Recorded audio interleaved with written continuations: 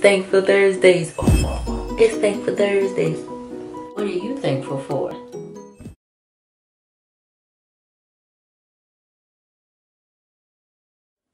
I'm thankful for my family.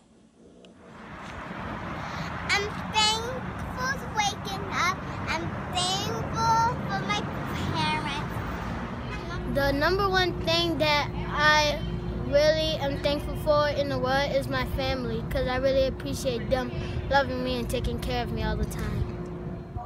I'm thankful for my amazing family because my dad works so hard to get me everything I want and my mom works so hard to help me keep my grades up. I'm thankful, I'm thankful for my father. I'm thankful for my team that they win the district champion tomorrow for the first seed. I am thankful for my brother and my sister because they always have my back and I love them very much. I am thankful for my family and um, I'm thankful for uh, the things that I have.